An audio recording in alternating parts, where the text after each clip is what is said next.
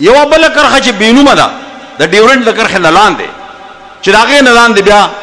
سیټل ایریا رات جو ته موږ وایو هغه دی نو د برتانوي هند سرحد هغه کرخه وا د هند چې کوم قوا د سرحدي قواو لکه فرنټیر کنسټیبلری فرنټیر کور د دې څوکۍ د هغه کرخه نه باندې ډیورنډ طرف ته نشته د دې څوکۍ هم د هغې کرښه سره دی د ډیورنډ او د هغې کرښې په منځ کې دا علاقه چې کوم ده دا د برطانوي هند حصه نه وه د ډیورنډ کرښه خو په دغه تقسیم کې هم یعنې سرحد نه و او خو د دې پښتون قام د تقسیم د پاره راښودل شوې ده عجیبه خبره ده چې نن هغه کرښه چې هغه سرحد ته اوسه ورنه هغه پاکستان کوشش کوي چې هغه سرحد کې ما وته اسمبلی کې وي چې تاسو ډېر عجیب خلک د افغانستان په تاریخ هم ځان نه پوه کوي او د افغانانو په تاریخ هم ځان ځان نه پوه کوي ما وی چې کوم حکومت چې تاسو د هندستان ان د تاریخ جبر دی چې تاسو دې ته وګورئ ټول هندوستان به د خپلو مسلو دپاره افغانانو ته کاته چا به راځي او د هندوستان مسلې به هواري او یا نن هندوستان خو پرېږده ټول پنجاب هم پرېږده نیم پنجاب چې کوم دی هغه دا ارادې لري چې په پښتنو حکومت وکړي د پښتنو وسایل واخلي او اغستې دي او دا نه چې یوازې دلته کې د رباني په وخت کې چې د دې سفارت هلته کې وسو نو ما ورته وی چې دا عمل د افغانانو نه دی ما شمله کې ورته وی دا عمل ما وی ستاسو د عمل رد عمل دی افغانان ما وی چې به انتها احسان منونکي خلک دي په تاریخ کې هغه داسې طریقه نه کړې رباني ما وې د دې ځای کې تاسو په پېښور کې د نواز شریف په صدارت کې د افغانستان د پر حکومت جوړ کو او د دې جنم ولګو دا ربانی کور ما ویند نرم دلته کې په پاکستان کې ستاسو باوې سفارت چې کوم دی نو هغه کې سړی وجل کېږي زخمیان کېږي سفارت څه ځل کېږي ولې هندستان ما به ستاسو په مقابله کې سلام حساب بوج نه دی وړي داغي سره مين ده ستاسو سره نفرت دی ما ته دغه دا فکر خبره ده چې هندستان داغي سره د برابرۍ په بنیاد تعلق ساتي تاسو نه ما وی زه تپوس کوم د دې هاوس فلور باندې چې تاسو افغانستان سره څه کوئ پنځمه صوبه یې جوړوئ فتح کوئ یې قانوني کوئ یې څه پروګرام دی ستاسو نو که تاسو د هغوی سره په دې انداز باندې نو ما بیا تاسو نه د افغانستان تاریخ لوستی دی د افغانستان تاریخ ما مختصر دا دی چې د افغانستان خاورې ته ننوتل ډېر اسان دي خو په افغانستان کې قبضه ساتل که ناممکن نه دي نو د ناممکن حد پورې ګران دي او افغانان چې کوم دی ما به زه تاسو ته دا خبره کوم چې شکست ورکولی شي خو په هغې شکست تسلیمولی نه شي په دې زه دلته کې دا عرض کوم چې زمونږ څه بنیادي کمۍ دی هغه کمی دا دی چې زما په علم ماته خو په تاریخ کې نه ده معلوم تاسو ډېر لیکوال ناست دي تهذي صاحب هم مخامخ دی تاسو ټول لیکوال یې پوهان یې په دنیا کې صرف یو د پښتنو تاریخ ماته معلوم دی چې قام په اقتدار کې او ژبه او کلتور په اقتدار کې نه دا بل چرته نه دی شوی چې قام دې په اقتدار کې او ژبه او کلتور دې په اقتدار کې نه بیا زه د خپل ادیبانو ته وایم د ټولنو ته وایم جانزیب خان ناس دی دې ته وایم چې دا زه منم چې د قام پیژندګلو په ژبه او په کلتوري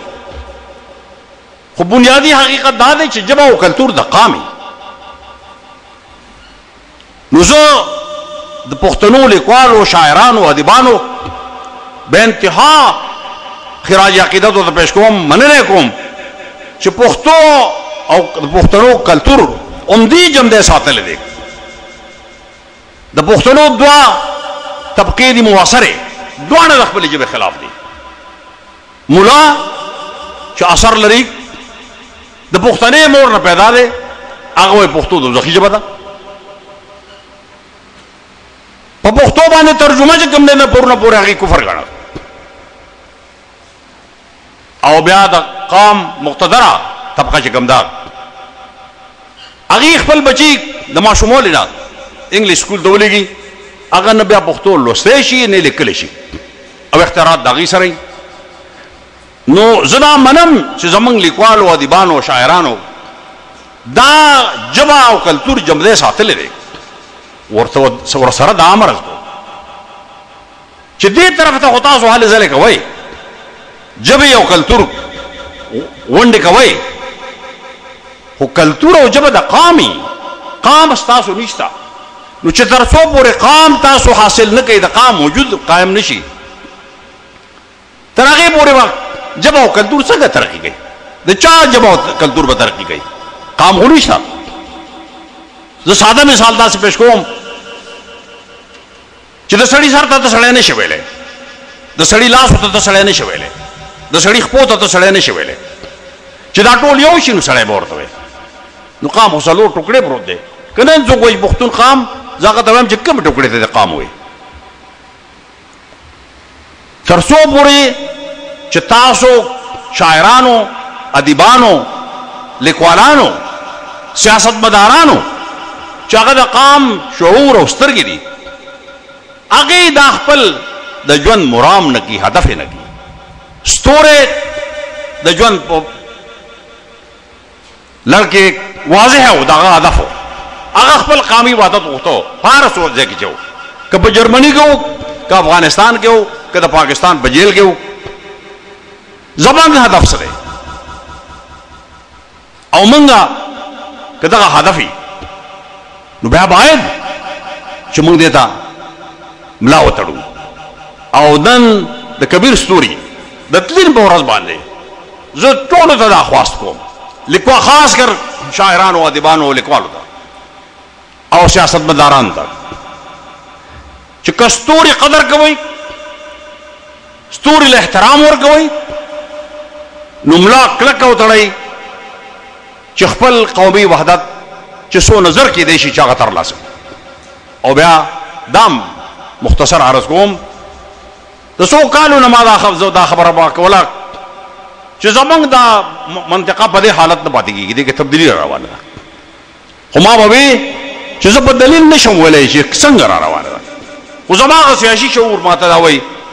چې دا په دې حالت نه پاتې کېږي دغه تبدیلی را روانه ده اوس چې د امریکې او د نیټو فوجونه افغانستان ته رالو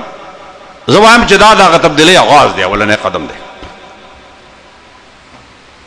نو دا نه چې سبا له دلته کې په دې منطقه کې تغیر راځي